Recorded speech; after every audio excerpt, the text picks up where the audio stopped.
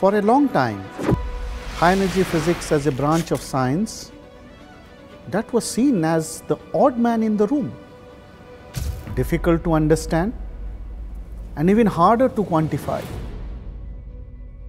But with this complexity came beauty. When we began to understand some of the smallest building blocks in the universe, we were able to start answering some of the oldest questions known to mankind.